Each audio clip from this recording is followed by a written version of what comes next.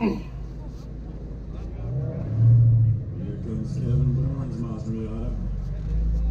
Kevin's got down into the 66s, posts his best time of the day.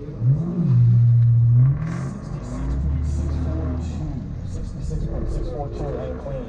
Well done, Kevin. Best time of the day on your last run. That's the way to do it. Here comes Brian Sadler, also running a time only.